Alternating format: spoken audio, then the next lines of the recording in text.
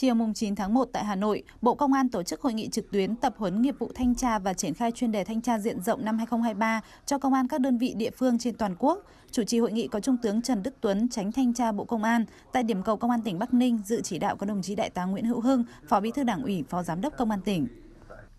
Trong hai ngày mùng 9, mùng 10 tháng 1, Công an các đơn vị địa phương được quán triệt các nội dung, kế hoạch của Bộ trưởng Bộ Công an về công tác thanh tra năm 2023 của lực lượng Công an Nhân dân, hai chuyên đề thanh tra diện rộng năm 2023 gồm công tác quản lý, thi hành tạm giữ, tạm giam, công tác đầu tư xây dựng các cơ sở giam giữ trong Công an Nhân dân và việc chấp hành các quy định của pháp luật về quản lý sử dụng vũ khí, vật liệu nổ, công cụ hỗ trợ, những quy định mới về tiếp nhận, phân loại, xử lý đơn khiếu nại, đơn kiến nghị, phản ánh trong Công an Nhân dân, thẩm quyền, trình tự, thủ tục giải quyết khiếu nại trong Công an Nhân dân, quy trình thanh tra hành chính trong lực lượng công an nhân dân, quy trình xác minh tài sản thu nhập đối với người có nghĩa vụ kê khai tài sản thu nhập hàng năm thuộc thẩm quyền cơ quan kiểm soát tài sản thu nhập Bộ Công an và cơ quan kiểm soát tài sản thu nhập công an các đơn vị địa phương.